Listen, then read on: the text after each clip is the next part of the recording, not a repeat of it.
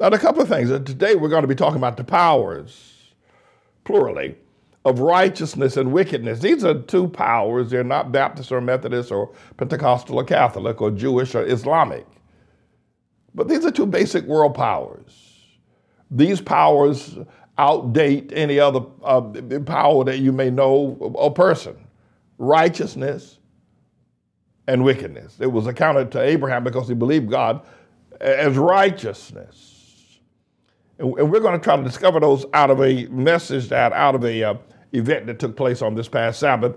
As I was teaching, I was raising the question about why is it that people choose wickedness over righteousness 99 to 1? And the other is why is it that God doesn't just force everybody to obey him? What's all this tribulation going to kill 7 billion people and have killed more and are killing people now? Why not, rather than choosing to kill them, why not choose to make them obey him? And then everybody, every day on planet Earth will be, you know, the month of May, and every day will be Sunday, and every, you know, there'll be no more sickness, no this, that, or the other. I'm going to provide those answers. I do have those answers. I raised those questions on this past Sabbath. I do have those answers. I'm going to provide them as well. But before I get there, I want to date today, of course, uh, for posterity today, on the global and U.S. coronavirus deaths and cases. Right now, there are over 2.5 million people that have been diagnosed with coronavirus. You can multiply that by a factor of 10. This is just what's been reported.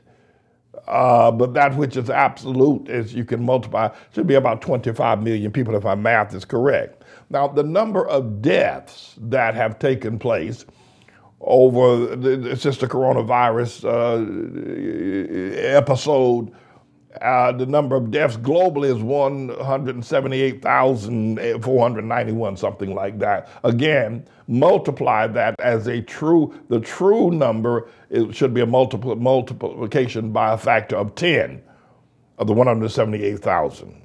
And then, of course, right here in the U.S. individually, there have been 825,306 cases so far diagnosed. Again, multiply that by a factor of 10. And the number of deaths, and by the way, yesterday, the 21st of, of uh, April, saw the largest number of deaths in the US of A uh, since this event has taken place. 26,000 people died 20, 2,600 people rather died yesterday, and New York was not the largest number. was was no longer the, the largest number. People are dying in other places, and we're going to get to that in this segment and also in the, uh, the Manning report segment. Also, that we'll be we'll be dealing with. Now, having made uh, some statements about my being all prayed up as I was over this past weekend, uh, the Lord said to me that I was constantly praying for the members of the church, constantly praying for the children, for the elders, and praying the removal of sickness and healing and all that, and, and really kind of wearing out the prayer cloth, the prayer mat on that whole issue. And the Lord said to me that I was all prayed up, I was all in. That is to say, that prayer has been hate, prayed, has been prayed, has been received, and has been answered affirmatively, positively. That prayer. And so, and then the other item, of course, is that we have to understand as the members of the elect that God has designated certain things for us nonetheless.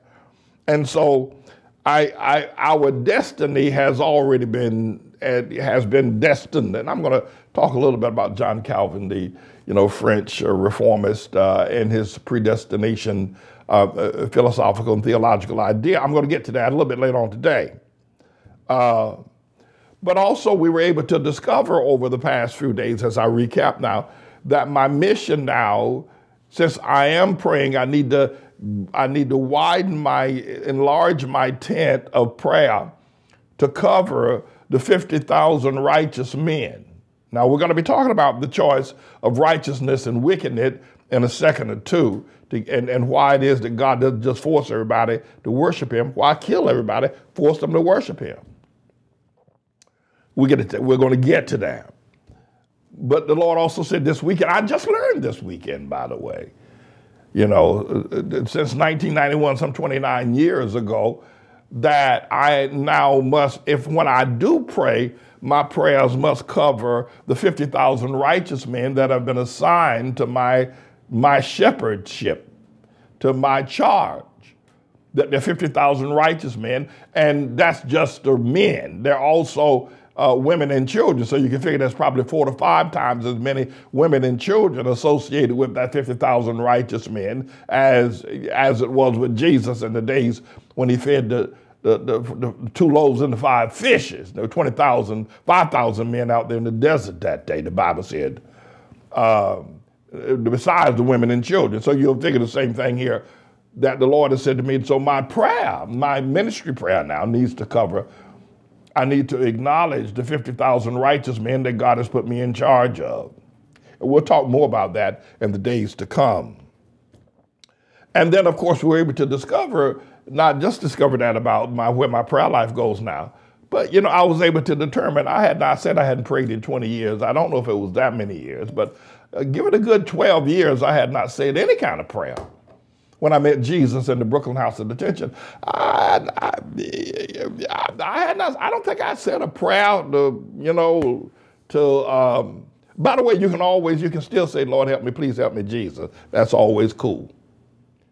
You know, you can always say, Lord, help me, please help me, Jesus. And I do, I, I pray that prayer all, all the time.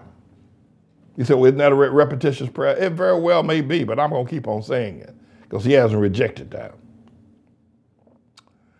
But no, I, I, you know, I probably had not prayed when I met Jesus in 1976 in the Brooklyn House of Detention. I probably hadn't said any kind of, I mean, any kind of prayer, even a prayer over my food.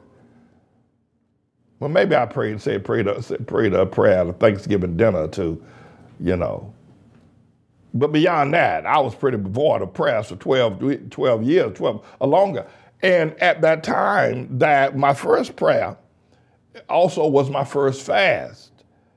And that three-day anointing and all, uh, the only conversation between me and Jesus uh, on that three-day anointing was, Lord, would you look upon me as you did your servant David? I want to be like David the king of Israel, you know, the Goliath slayer.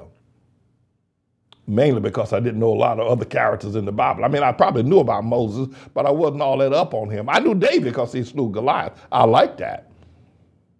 I knew about Paul, but that was not, you know, but my real heart was to be like David. So now, so this past Sabbath worship, when I was teaching about sins in the hands of an angry God, a God is angry and bitter in that Sabbath worship, I raised the question, why do people choose evil? And you can say what you want. You can put your head in the sand like an ostrich.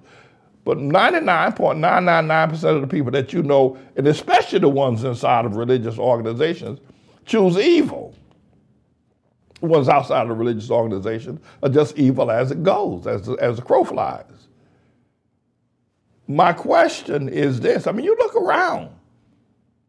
That there's evil everywhere. And sometimes people try to use goodness because they got an evil purpose. They got, you know, they got a hidden motive. And that's why they're using evil. And then, and I was, because, you know, why can't we just have planet Earth as this most beautiful place? no wars, no sickness, no hatred, no lying, no cheating. I was going through the scriptures, through the verses last night in, um, uh, in Exodus, right? Chapter 20. I didn't tell the engineer about this, but I was going through the verses and, and, and I was just having some fun. I, this, is not a, this is not a real trip for me, but I was, I was going through the verses about, you know, the commandments. Why, and when you're looking at why people you know, why people, um, you know, why people, um, why people don't like, why people don't choose righteousness. So watch this. I was doing it, so here's the Ten Commandments. And I was just, I was just having some fun. The Lord let me do this. He might not let you do it, so don't you try it. But I, was, I was having some fun pretending to be an extraordinary evil person. Said, I don't like none of these commandments. But really, I was mimicking the whole of humanity I don't like the command. Watch this. Here are the top 10 commandments, right? Exodus chapter 20, verse 1. And the God and God spake unto all these words, saying, I am the Lord thy God, which brought thee out of the land of, the, of Egypt, out of the house of bondage. Thou shalt have no other gods before me. Really? sure? Uh, uh, that, that's, number one. I don't particularly like that one, someone would say. Thou shalt not make unto thee any graven image or likeness or anything that is in heaven or that is above us in the earth or beneath the earth. Thou shalt not bow down thyself, nor serve them, for the Lord thy God is a jealous God, visiting the iniquity of the fathers on the children in the third and fourth generation, and showing mercy to them, uh, a thousand of them that keep the commandments. Right? That's number three. Thou uh, shalt not take the name of the Lord thy God in vain. So I don't like that one either. Uh, six days shall not uh, remember the Sabbath day and keep that holy. I don't like that one either. Anyway, I think this is probably lose the context. I, last night I was doing this last night. It's a theological exercise, so it probably doesn't have the kind of context. But when you get down to thou shalt not lie, why not? thou shalt not bear false witness against thy neighbor. Why not? Thou shalt not kill. Why not? Thou shalt not steal. Who's, why? Why not? I was having some theological fun. Scratch that. All right, let's exercise that out of the lesson totally today of, of my musing on the on the verses. So why doesn't why doesn't Almighty God, His name is Jesus, why doesn't He just make everybody? What's this business of free will? And I'm going to come to that in a fuller explanation in, in a moment. I said there is no such thing as free will, and there isn't.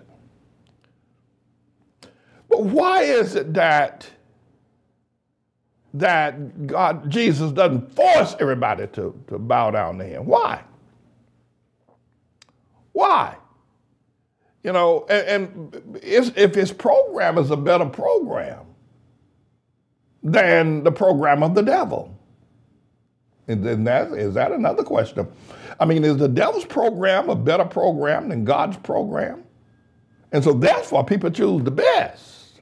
We'll try to get to that also in terms of you know, trying to come to understand. But why does it, and Paul was speaking philosophically when he said every knee shall bow and every tongue shall confess that Jesus is Lord. I, I, I, I you know, I've never seen that happen. I've never seen that happen. But Paul is, he, he's being philosophical there. So why don't people just bow down and worship the Lord? What's all this killing everybody?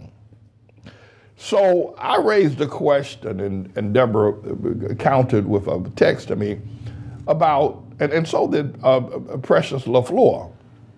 They both counted because it's a, it's a question I think that catches people's attention. Why is it, or is there something that's missing in the 66 canonized books of the Bible by that I mean, should not those books have given us a full definition and explanation? And one of the big, humongous explanations to wonder why did Eve do what she did? Why did she do that? We know what she did, but we don't know what her motives were. Why?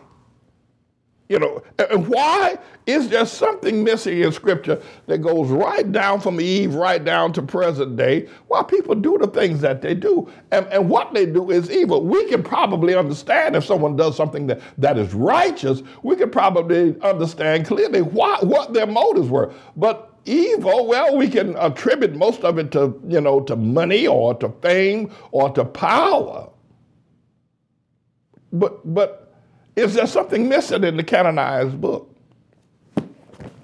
that we that that should be here? In other words, we don't have a full text on the information giving us a clear understanding why people choose evil. I mean, if you read Psalms 37, yeah, it's got to blow your mind because to go from the wicked to the righteous, the way it talks about what the wicked does and what the righteous does, and what God does to the wicked and what God does to the righteous. And I tell you, anybody reading Psalm 37 ought to come away saying, well, I'm staying the heck away, away from being wicked because God socks it to the wicked and he blesses the righteous. It's a great psalm. I don't have time to read it today. My time is moving along real fast today. I, but read it. Psalm, and read it in the context of the wicked and the righteous and what happens to each one of them and who actually is wicked. Maybe you're one of the wicked ones. And then read it in the context of the fact that I'm always preaching righteousness. All right. So, is there something missing in the Bible that we should know that's been left out that would explain all of this? And then the other thing I think is very question, this has always been a question of mine. Why is it there's such a protracted amount of time between the edge of the paradise, the Garden of Eden, where God put Adam and Eve out, to Revelation chapter 20, 21, and 22. You got all that time. You got Moses up in there. You got Abraham up in there. You got I don't know. You got Elijah. You got Esther. You know. You got the Bible. You got Jehoshaphat. You got Samuel. You got Saul. You got David. Uh, you got Ezra. You got Nehemiah. All up in there. You got all of them in there. And and then you got Jesus. Then you got the, the Peter and Paul. You got the uh, you got all of that, and you got now. And still, this matter, what happened in the garden, has not been resolved. And you can try to get philosophical, which I've tried to do and failed. Because from, from the Garden of Eden, to God putting Adam and Eve out to present, you know, and then the prophecy that Jesus gives to cover that is in Matthew 24 regarding the tribulation, which we're in right now. You know, I'm ready to go ahead now and say that the coronavirus is a pestilence. Generally, pestilences are life there, there, there, there are, you know, rodents of uh, mosquitoes or, you know, some sort of insect. But what those, or bats for that matter, and, and what those things do, they, they pestilence, they, they, first of all, they give you, drive you crazy by their, uh, you know, like Moses with that, uh, the locusts came in and ate up all the crops. I'll, I'll, I'll come back to that in terms of the pestilence and the coronavirus business that we're presently in. But why is it there's been such a, God has not resolved this matter of sin, righteousness, and wickedness has not been resolved. Not fully. I mean, there's been an application called Moses and the Law, Mount Sinai. By the way, I don't know how many of you, you know, know of, uh, you know, the Mount Sinai Hospital is a pretty popular name of a hospital globally. But also the second most popular hospital globally name is St. Luke's. You, you know, and you may have not have thought about this. I thought I'd tell you. Maybe now you'll think about it. Maybe you didn't think about it. But you know, Luke, Theophilus, the gospel writer of Luke, and, and, and, the, and the gospel, now Luke was not a disciple but he was a doctor, right? He wrote both the book of Luke and the book of Acts, book of Gospel of Luke, rather, and the book of Acts. He was a doctor, actually a medical doctor, as medical doctors go in the first century. Luke was one of them.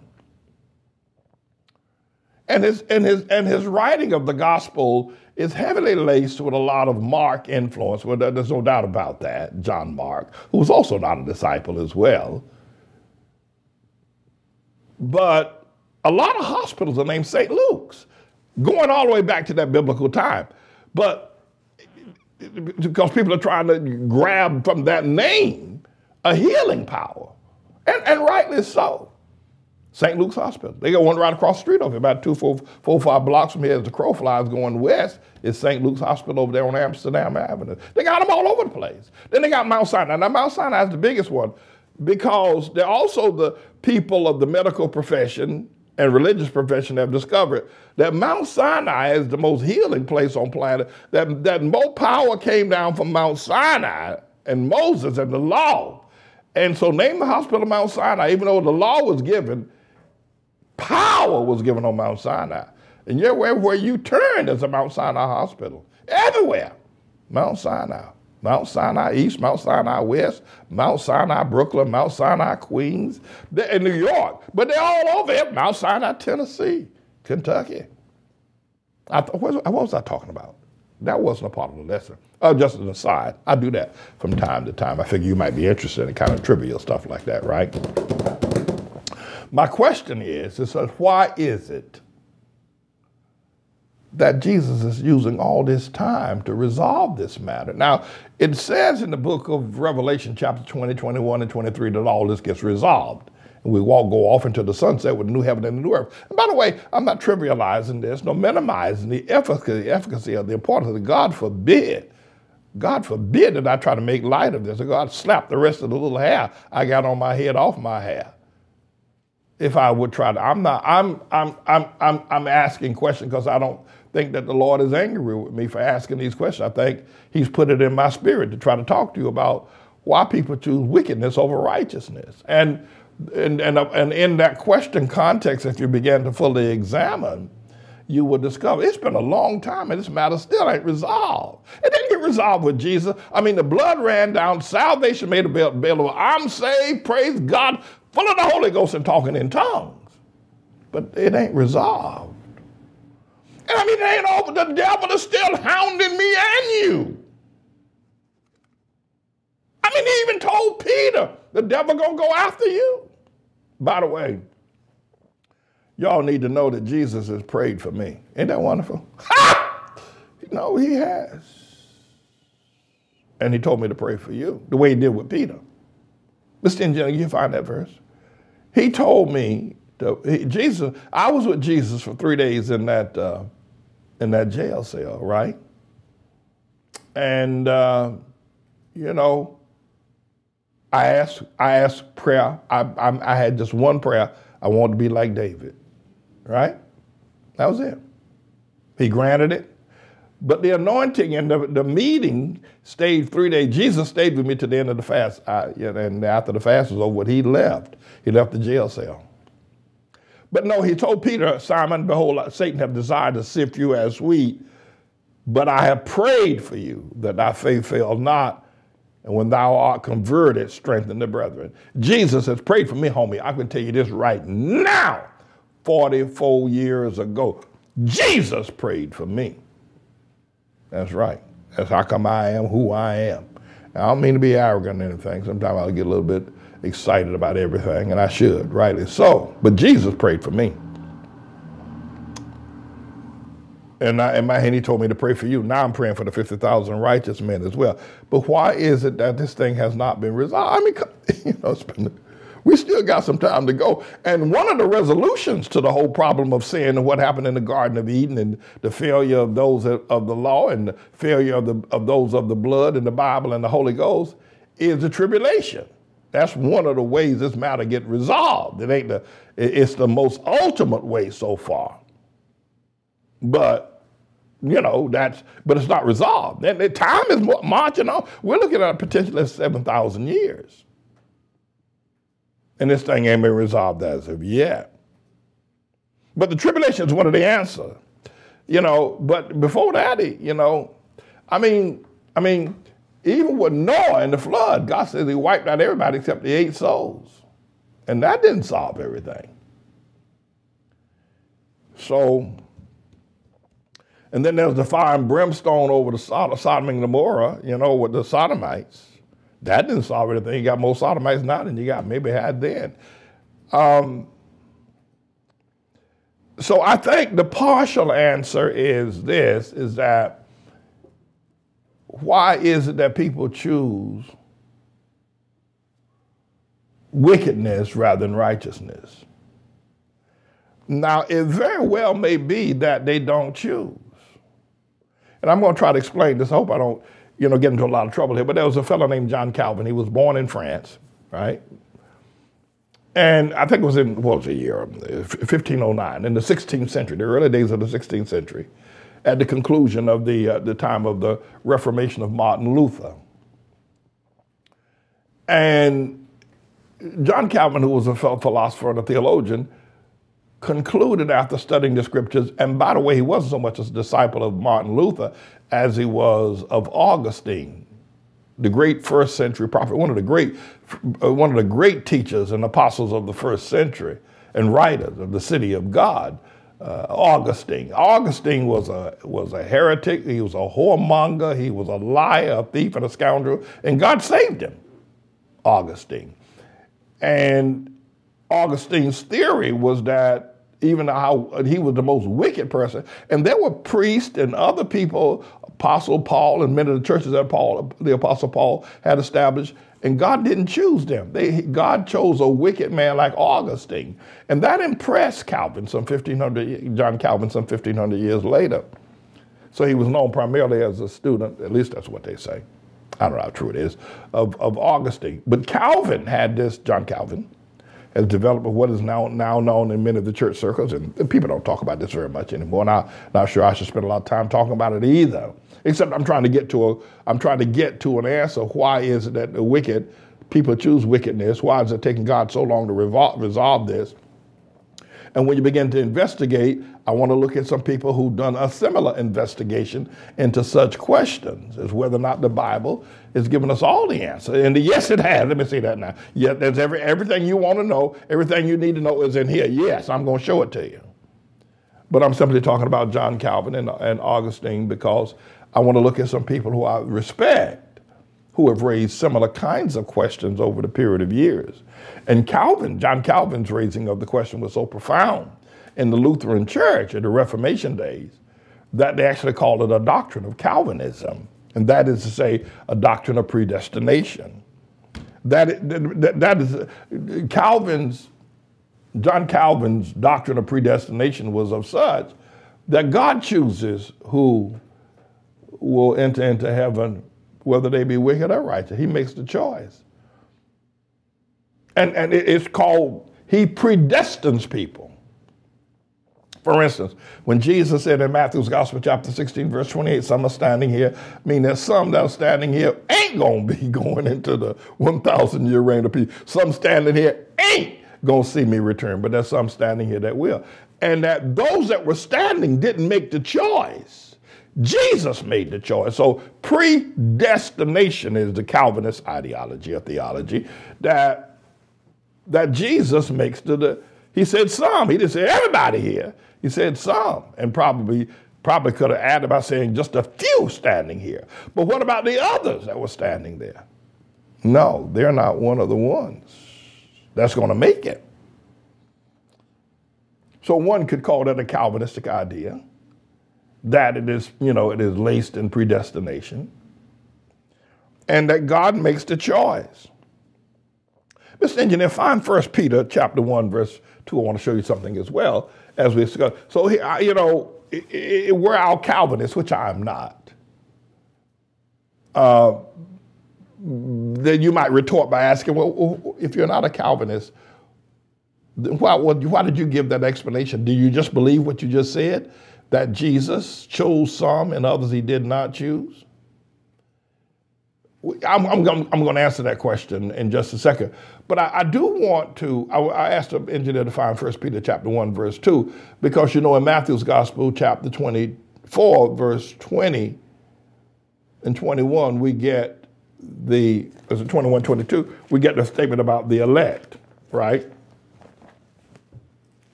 Let me see what's that.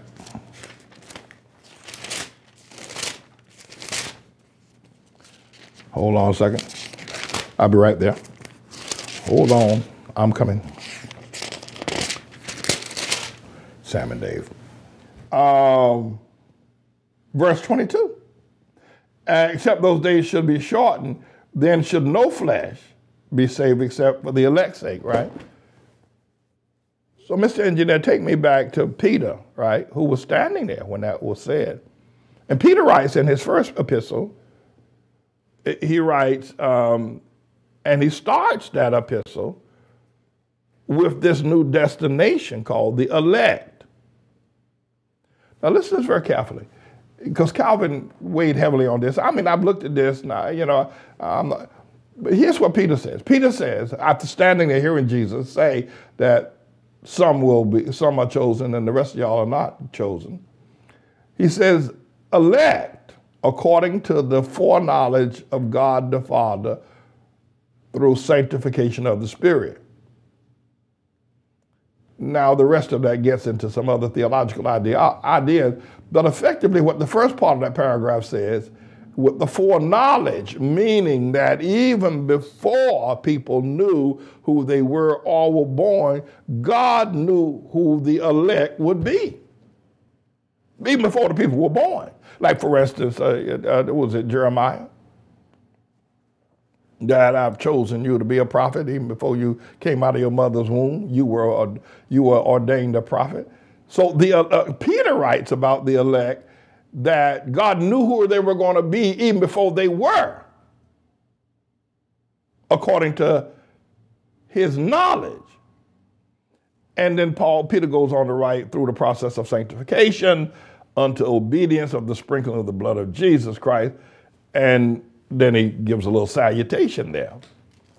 So was Peter was I mean, actually this is one of the strongest verses that probably John Calvin probably dealt with. But you could say the same thing out of Jeremiah, Mr. Engineer. God told to Jeremiah, before I formed thee in the belly, I knew thee, the foreknowledge, the foreknowledge of Jeremiah. And by the way, Jeremiah, uh, Jeremiah went to God after he had a real tough time Nobody liked him. They didn't like the fact that he didn't preach, you know, happy happy messages. He didn't preach have your best day. He didn't preach, you know, you're going to prosper. He didn't preach any of those things. And nobody liked Jeremiah. In fact, the king, they had him arrested, put him in prison, let him out. Then they tried to camouflage his death by throwing him down into a deep well, and a friend came and pulled him up out of the, out of the miry clay. Then they put him in a log and tried to roll him down a hill uh, nobody liked Jeremiah. He just was not like, no, and nobody followed him either, by the way. He didn't have any members. They didn't like him.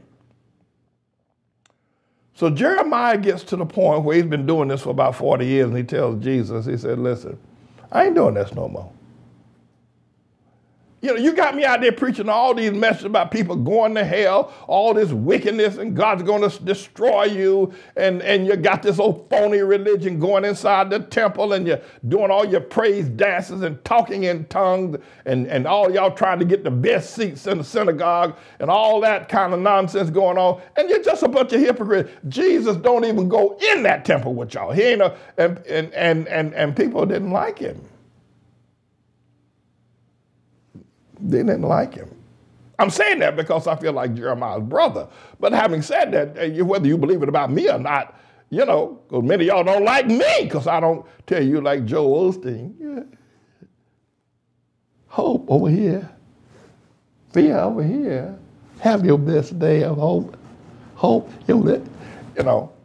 So Jeremiah walked up to God one day, like Elijah did.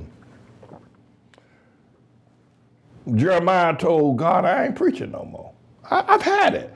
Ain't nobody paying no attention to me. I've been telling people about righteousness. I've been telling people about you. And they still worship the devil. Lie, cheat.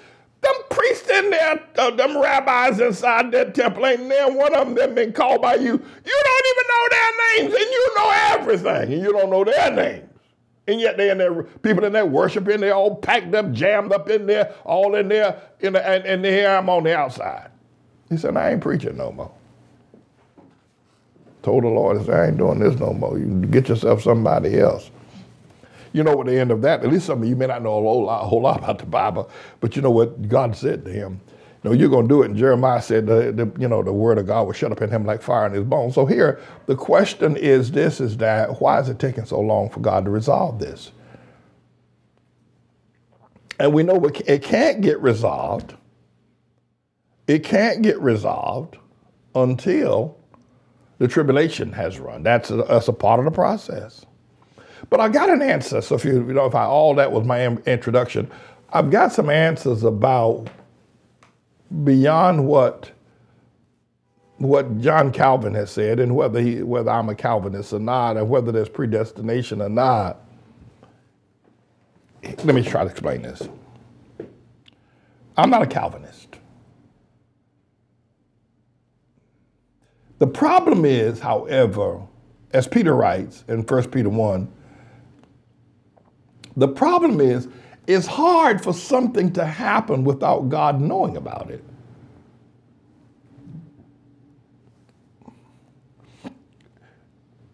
You say, well, that's Calvinist ideology. Listen, I, I, I, I'm not a Calvinist, right? And I'll explain to you why as we, as we, not today, but as the lesson goes on. But my point is this, it is hard for something to happen that God does not have foreknowledge of. In other words, let's say you're driving down the street, you have an accident. Oh, God said, oh, God, get, get the emergency people. Oh, I didn't know it was going to be an accident. I was just getting to have lunch, and there's an accident. No, he knows about it. He knew about it. He has foreknowledge. My argument with John Calvin and with Augustine was this is God knows about it. He knows it's going to happen. But the, the idea that it's inescapable is, is a question. That is to say, that God knows that you're going to bust hell wide open, but you can repent. You can avoid the accident. And that tears, in my, in my estimation, that tears down the control of predestination because you can repent. Or you can go another route. You can go another way. And, and that within itself. For instance, when Herod tried to kill Jesus, he went, his father took him down to Egypt. I don't know if you were able to jiggle with that. but I got my problems with Calvin. But the whole thing is this, is that what I do have is I want to share some things with you as, as an answer now. And Mr. Engineer, I want to go to Matthew's Gospel, chapter, chapter 13.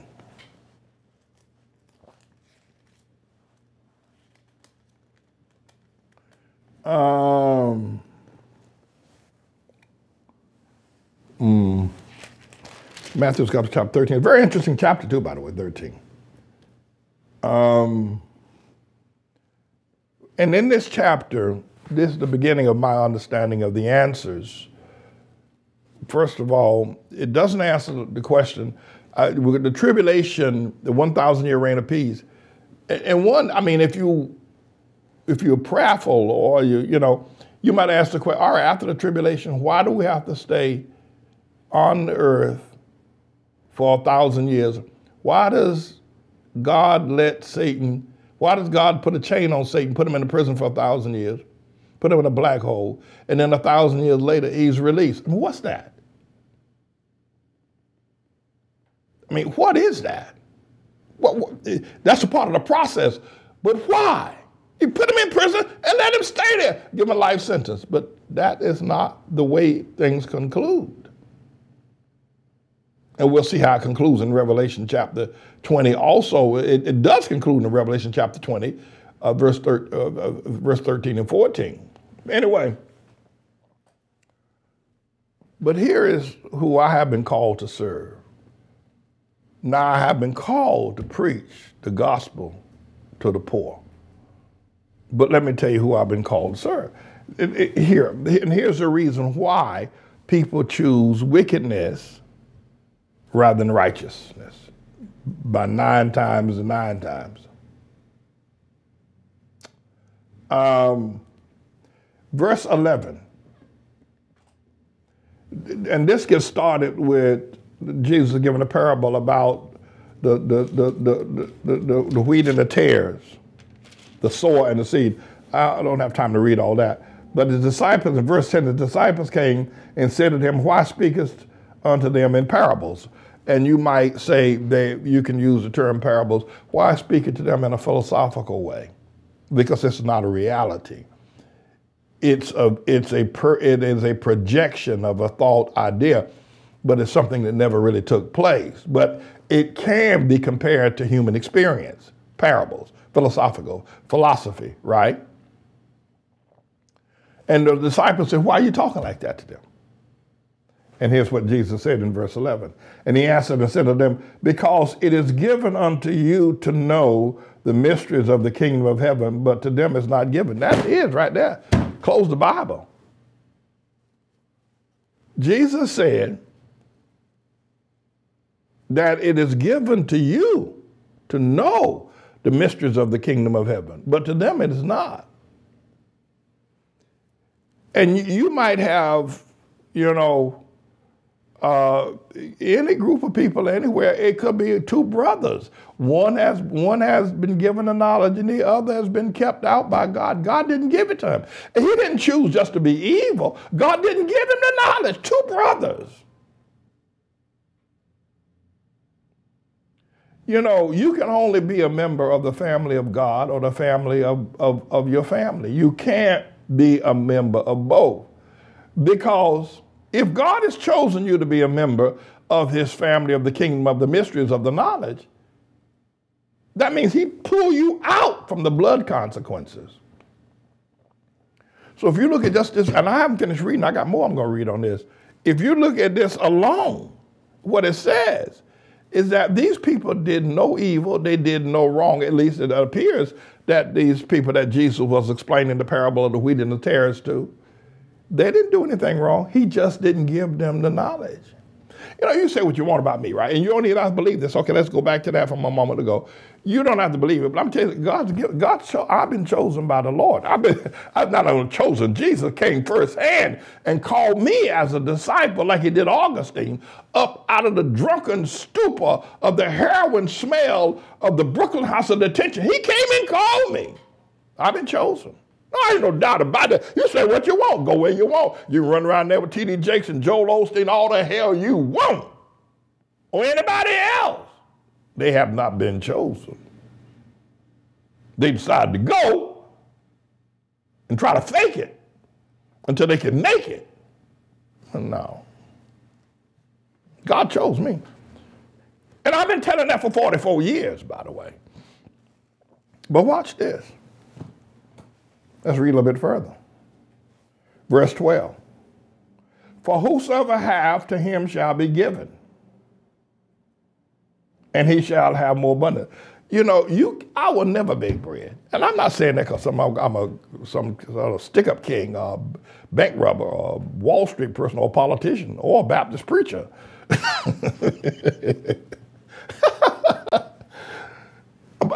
I will never bake bread.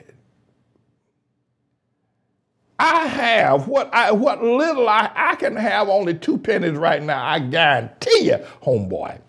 Two pennies in my hand as a righteous man is greater than two billion in the hand of Warren Buffett Bill Gates. I guarantee you. And not just that. Not I will never beg bread. Never, never beg bread. Never be defeated little that a righteous man have, uh, uh, Brother Donald Springfield, is greater than the riches of many wicked. I'll never beg bread. Verse 25 says, I've seen the, I have been young and now I'm old, yet I've never seen the righteous forsaken, nor a seed begging bread. 12 watts. But watch this. Watch what it says here.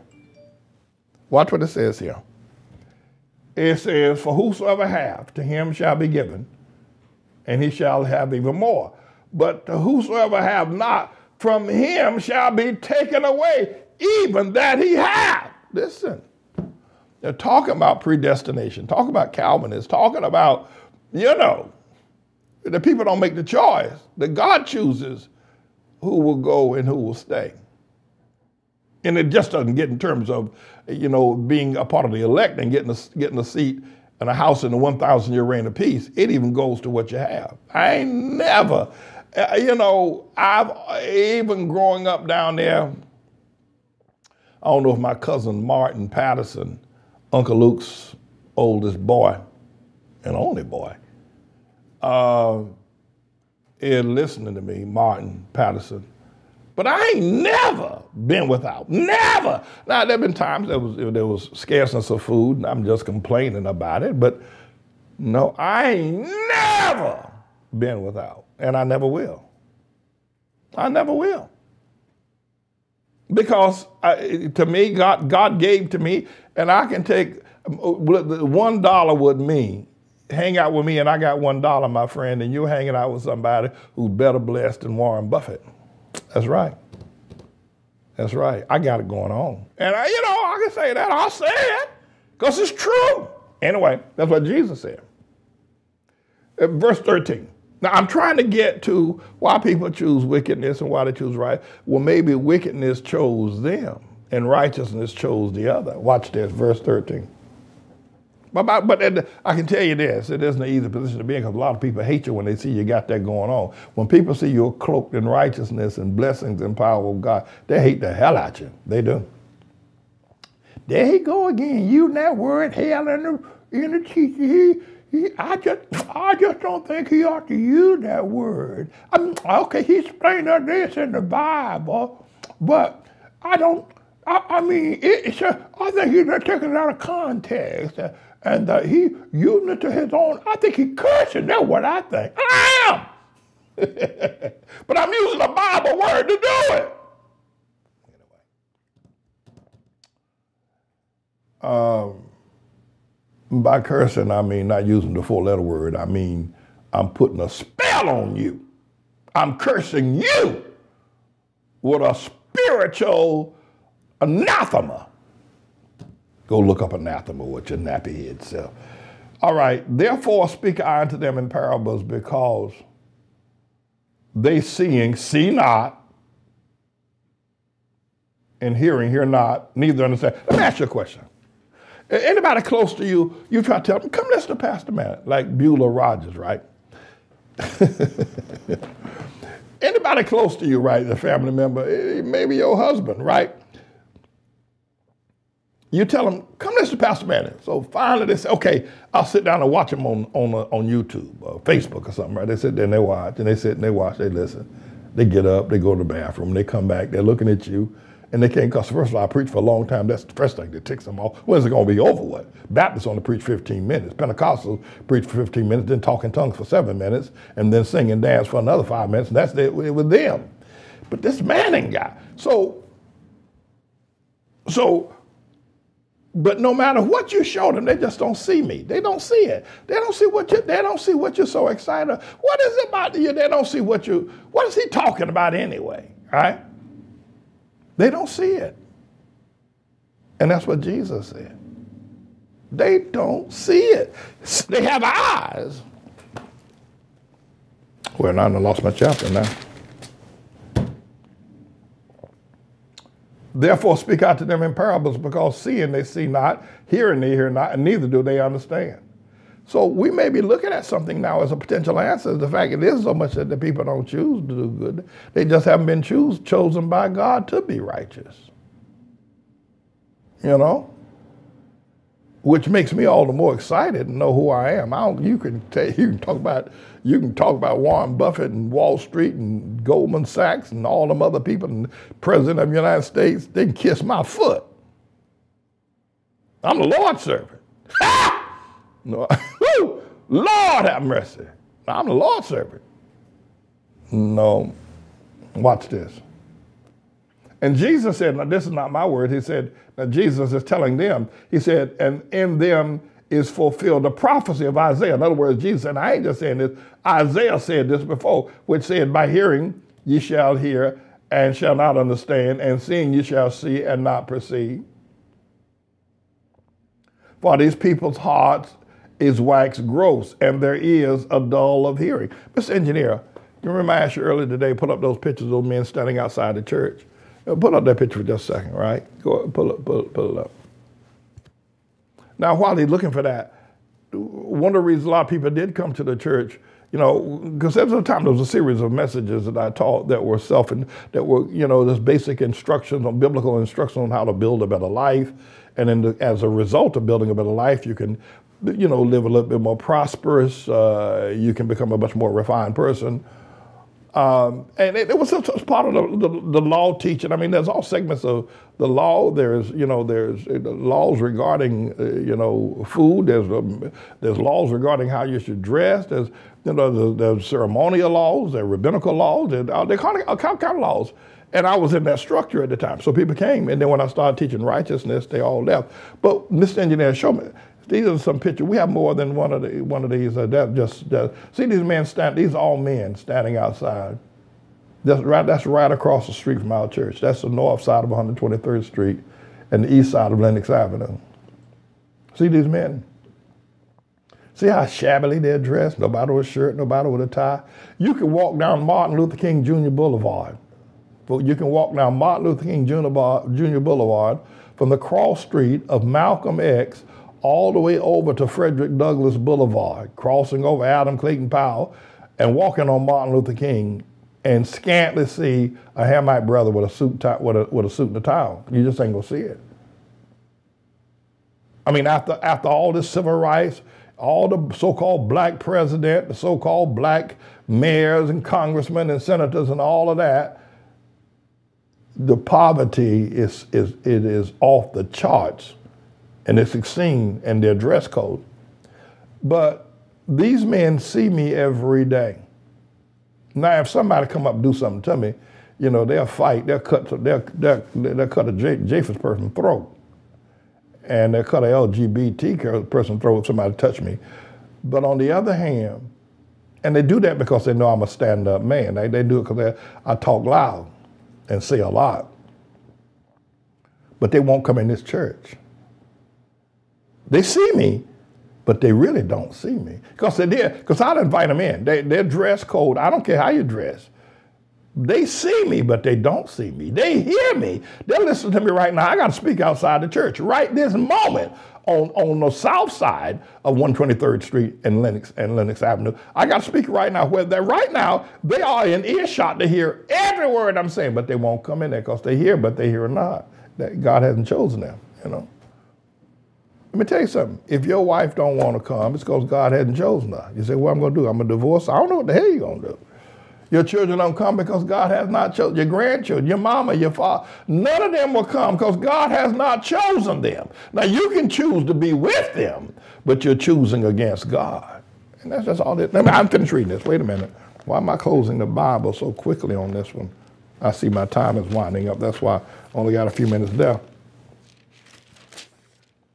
I got to come back to this Matthew 13 business. Watch what the Lord said. For these people's heart is waxed gross, their ears are dull of hearing, and their eye, these people that men on the street out there in front of the church, lest in any time they should see with their eyes and hear with their ears, and should understand with their heart, and should be converted, and I should heal them. So, you know, there is this choice here, however. But, but Jesus is going on to say, Blessed are you people from ATLAH. For your eyes they see, and your ears for you hear. For verily I say unto you that many prophets and righteous men have desired to see those things which you see and have not seen them, and to hear those things which you hear and have not, have not heard them. You sit up in the ATLAH Warminster Church and you hear me preaching, right? And you say, doggone. I mean, many people in our church have relatives that are pastors, but they never heard what they're hearing here. And so it is a blessing to be here. All right, listen, I, I got a whole lot more on this because, you know, now that I'm all prayed up, I want to deal with this issue about why it's taking so long and why we're in the tribulation, why the coronavirus. It's, by the way, you know, and I'm, I'm going to go ahead and I, am going to attribute coronavirus to, to the pestilence as a segment of the prophecy of Jesus because Jesus is killing people. And I raised the question, why kill people? Why not just make them obey? I didn't answer that question, but remind me to come back to it. Wouldn't it be easier to just make people obey than to kill them? I'll give you a partial answer now. There's some people you can't make obey. Only, only death. That's the only thing that's good for them. You know? And some people are so far off the charts of what they've done against God and against God's people is that God's chosen not to save them. Want to throw them in hell for what they've done. And a lot of people have done something. I'll throw this in for, my, for me. You know, touch not mine anointed, neither do my prophet any harm. I'm going to tell you that now. I'm going to tell you now. Touch not my anointed, and don't do my prophet any harm. And every word you speak against him, I don't care what you say, whether it's the truth or not, in judgment will be proven to be a lie. Don't be messing with my people, God said. All right, so now here, um, don't forget your tithing and your offerings. Use Cash App. Thank all of y'all for giving. Thank you, thank you, thank you. Brother Joseph Manning sent me something the other day. I don't know if I can sell that thing. I'm going to try to get somebody to make it, uh, and we're going to get rich.